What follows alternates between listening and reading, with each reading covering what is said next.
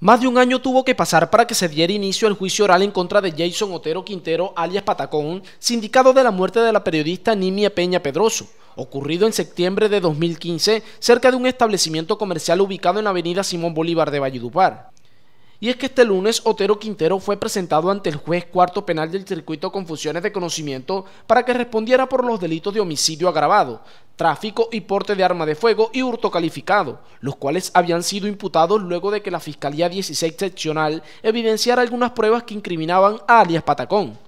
La vista pública de juicio oral comenzó con la intervención de uno de los testigos de la defensa, quien relató detalladamente lo que ocurrió aquel día en que fue asesinada con arma de fuego la comunicadora social, además de señalarlo como el responsable del crimen. Ahora la diligencia judicial continuará el próximo 4 de abril en horas de la tarde, en la que se seguirán evidenciando elementos materiales probatorios por parte del abogado defensor.